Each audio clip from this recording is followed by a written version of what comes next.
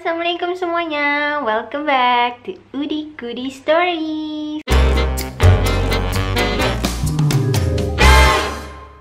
Nah, di Udi Goody Stories kali ini aku mau coba uh, sesi baru sih. Uh, Aku namain sesi ini You Recap. Jadi aku mau nge-recap beberapa kejadian yang cukup penting Yang mungkin juga ada hubungannya sama Indonesia di Rusia ini gitu gitu. Aku juga belum banyak tahu sih berita-berita tentang Rusia tuh kayak gimana. Tapi ini yang aku tahu aja, aku mau kasih tahu buat kalian. Sekedar update aja sih uh, apa apa yang terjadi di belahan dunia lainnya, yaitu di Rusia yang mungkin juga ada hubungannya sama Indonesia. Jadi kalau kalian tertarik sama sesi ini, mungkin nanti aku akan terusin Uh, di kali ini aku bakal nge-recap apa yang terjadi di Rusia di bulan April 2019. Kalian penasaran? Let's check it out.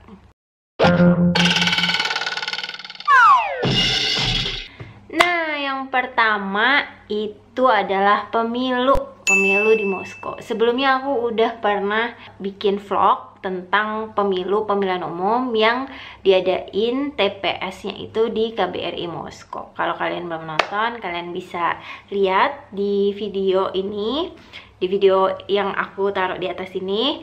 Nah, kayak gitu sebenarnya untuk uh, situasi atau kondisinya aku cuma mau nge-recap aja pemilu di Moskow berjalan lancar, berjalan aman dan juga jumlah pemilihnya juga nggak terlalu banyak. Uh, kan masyarakat Indonesia di Rusia ini nggak terlalu banyak juga guys. Cuma sekitar seribuan. Tapi berdasarkan hasil uh, dari pemilu yang di report sama PPLN atau panitia uh, pemilu luar negeri nya Moskow itu uh, ada sekitar 500-an surat suara yang udah uh, terkumpul gitu. Aku akan bacain ya.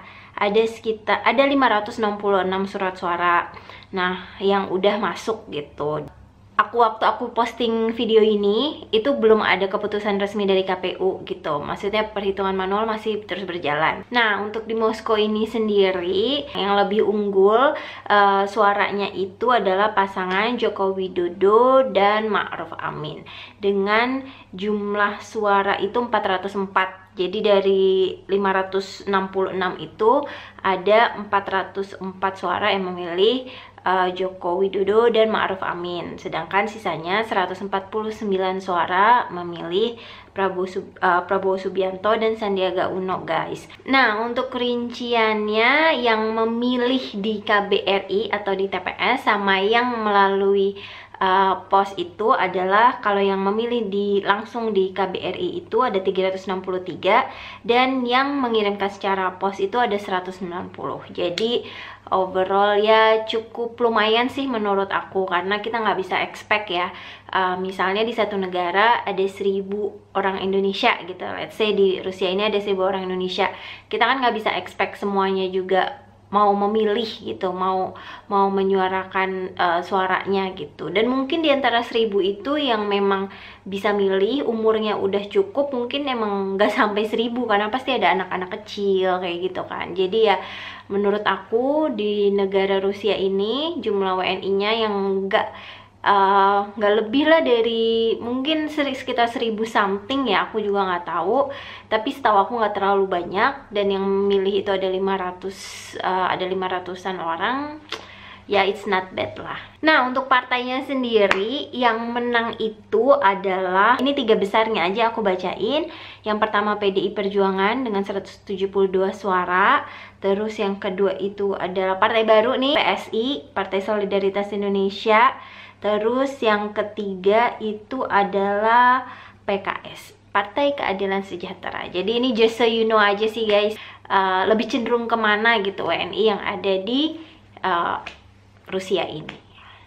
Yang kedua adalah tentang ini uh, uh, beritanya kurang baik juga sih. Ini ada penembakan yang terjadi di dekat metro station di uh, Moskow ini. Nama metro stationnya itu, sebentar ya guys, aku lupa nih. Nama metro stationnya itu adalah Novye Cheremushki gitu. Jadi ini bukan di dalam metronya, bukan di dalam kereta metronya. Metro itu kan kayak kereta bawah tanah gitu guys. Nah ini tapi di luarnya, di dekat pintu masuknya. Jadi penembakan ini melibatkan dua orang, cowok. Saat ini polisi juga masih menginvestigasi gitu. Uh, kenapa? Uh, latar belakangnya bisa terjadi penembakan. Cuma setahu aku uh, kronologi singkatnya adalah ada satu orang cowok yang nembak si uh, orang lain. Terus setelah itu dia tembak dirinya sendiri. Jadi dia bunuh diri juga. Dan uh, ditemukan dua mayat berarti gitu. Dua-duanya cowok dan umurnya juga udah lumayan gitu guys. Sudah di atas 40 kayaknya gitu. Uh, kalau motifnya sendiri aku juga belum tahu.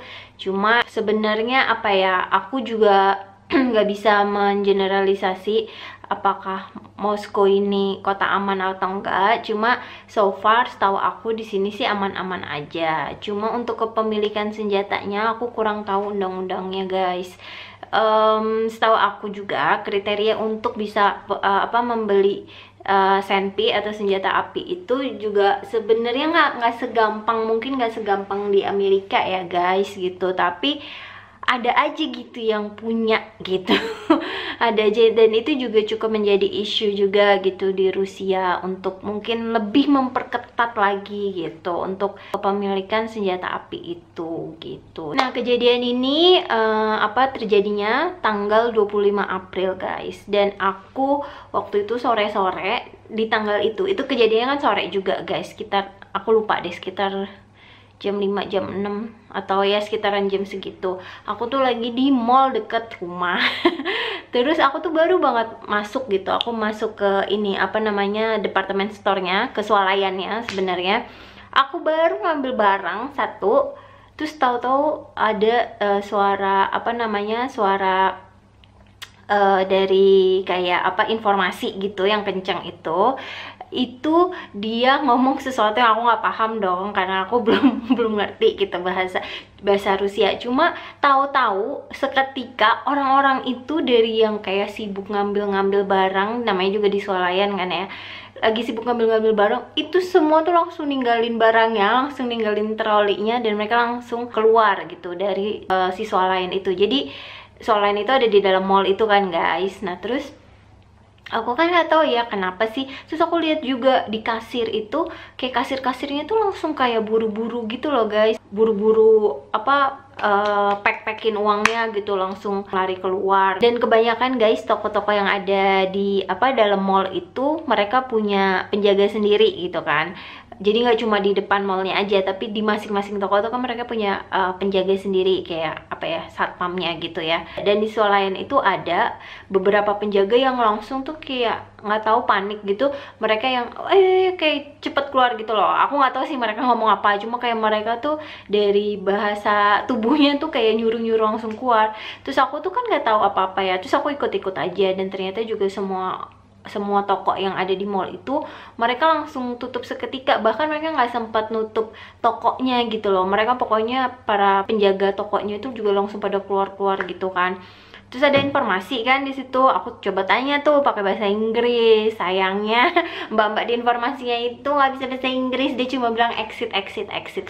Yaudahlah aku exit ya keluar. Dan aku lihat ada beberapa anjing anjing polisi gitu. Dan waktu itu yang di pikiran aku adalah entah ada kebakaran entah ada uh, teroris waktu itu aku mikirnya karena kan uh, beberapa bulan yang lalu kita tahu ada kejadian di New Zealand terus ada juga kejadian yang di apa Eropa gitu kan dan ada beberapa yang uh, berspekulasi akan ada kejadian juga di Rusia. That's why aku berpikir kayak gitu. Dan aku juga ikutan walaupun aku nggak tahu ada apa aku langsung buru-buru pulang. Aku langsung jalan cepat karena di luar tuh langsung banyak banget orang jalan cepat keluar dari situ gitu.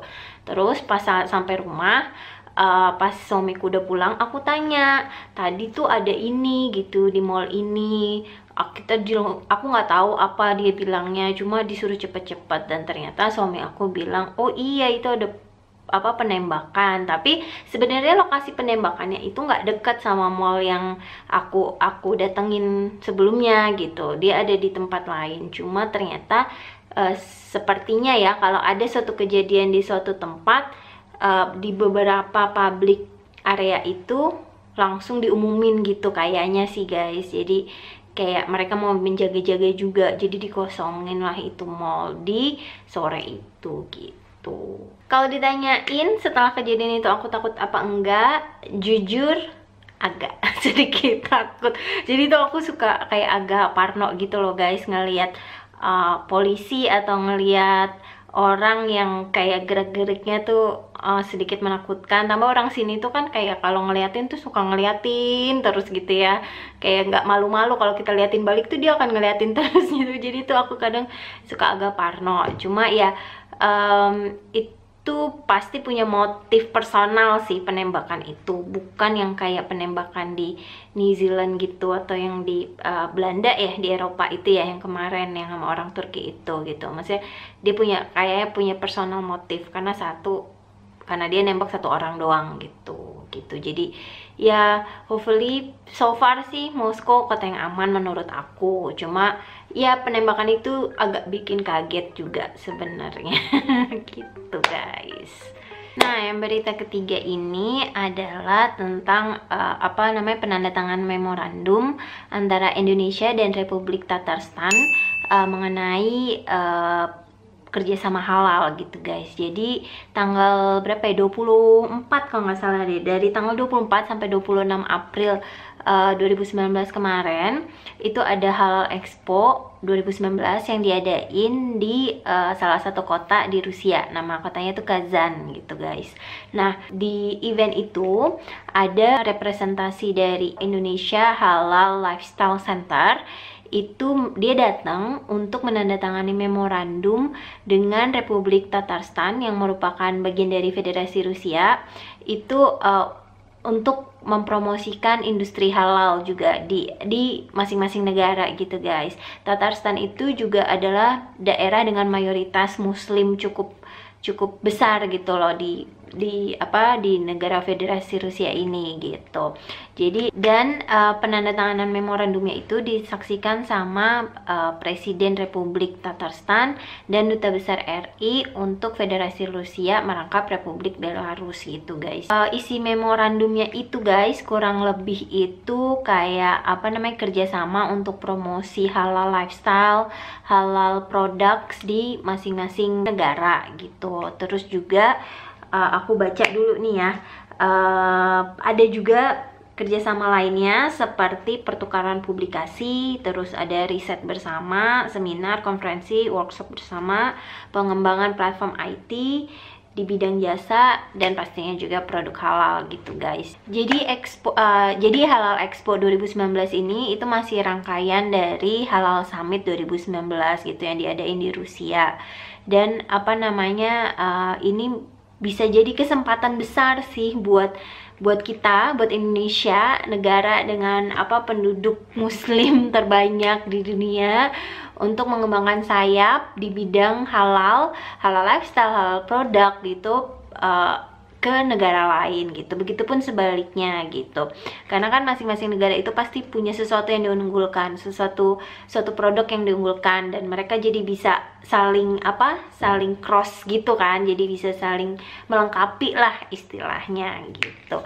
Dan pastinya uh, kayak halal produk atau halal lifestyle itu tuh nggak akan jauh-jauh berkaitan dengan budaya gitu guys. Dan budaya dua negara ini kan juga beda banget dan pasti menarik banget. Kayak misalnya halal produk yang di Indonesia sama di Tartar itu mungkin uh, beda gitu walaupun satu produk gitu. Jadi kayak misalnya mungkin sajadah gitu. Sajadah buatan di Indonesia sama sajadah buatan di Tartar mungkin karena udah masuk budaya juga pasti akan beda dan itu pasti akan menarik banget sih guys. Jadi ya uh, kita harus support dan senang banget uh, kerjasama ini bisa bisa terjalin. Semoga ke depan-depannya juga bisa apa namanya industri kecil uh, halal mungkin di Indonesia bisa dapat kesempatan untuk go international ya nggak?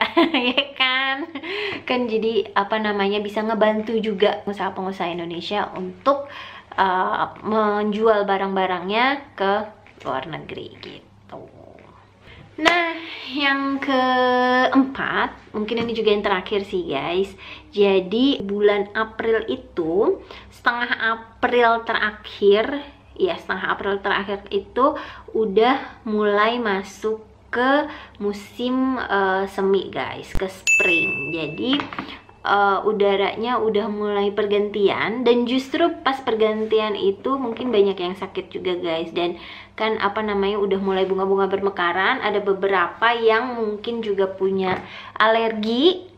Orang-orang Indonesia tuh beberapa yang aku tahu punya alergi dengan serbuk-serbuk yang ada di bunga-bunga itu. Jadi mereka uh, biasanya di sebulan awal bulan semi itu mereka akan bersin-bersin atau flu berat gitu guys. Ya aku berharap aku nggak sih aku udah ngejalanin setengah bulan kemarin waktu masuk spring dengan alhamdulillah aman. Ya agak sedikit drop mungkin karena perbedaan cuaca aja tapi nggak sampai yang bersin-bersin parah. Jadi mudah-mudahan aku nggak punya alergi itu. Terus juga di sini agak sedikit beda guys. Mungkin ya springnya sama beberapa negara Eropa Barat lainnya gitu. Karena spring di sini cuacanya masih tetap ekstrim gitu. Jadi kadang bisa yang panas. Panasnya sih mungkin masih di bawah 20 derajat tapi lumayan lumayan panas. Lumayan hangat lah hangat bukan panas. Tapi bisa malamnya itu bisa yang windy gitu guys. Bisa yang berangin kencang gitu. Atau bisa juga siang ini tuh panas banget dan disertai dengan angin kencang. Jadi walaupun kita lihat panasnya misalnya 17 derajat oh oke okay nih gue bisa pakai baju yang apa namanya nggak terlalu tebal gitu. Tapi pas keluar tetap aja coy anginnya dingin banget gitu. Jadi ya harus ini sih harus bener-bener masih masih apa namanya prepare sama kita nggak tahu sejam kemudian mungkin bisa atau atau masih hujan kayak gitu. Tapi ya udah lebih cerah sih guys dari waktu aku bulan Maret kemarin datang ke sini itu kan kayak gloomy banget gitu nih Rusia ya Allah gitu. Dari negara yang uh, cerah merah gitu kan yang cerah ceria dari Brunei yang panasnya kayak gitu gitu. Bisa sampai 30 3 derajat 34 derajat tuh bisa gitu Brunei itu sampai segitu. Terus ke Indonesia ya kan Indonesia oke okay banget tuh menurut aku cuaca paling oke okay tuh ya di Indonesia lah. Sehujan-hujannya tetap anget gitu rasanya. Tahu-tahu datang gloomy gitu kan kayak ya Allah suram banget hidup gue gitu kayak gitu gitu. Cuma uh, masuk ke bulan April ke setengah April terakhir itu udah mulailah aku bisa merasakan hangatnya negara ini gitu. Walaupun disertai angin-angin. Jadi um, buat kalian yang mungkin mau ke sini dalam waktu dekat masih di spring masih di apa musim semi aku saranin untuk paling nggak bawa satu pakaian tebel deh gitu. Bawa satu. Karena yaitu bisa sewaktu-waktu uh, apa namanya cuacanya drop lagi gitu.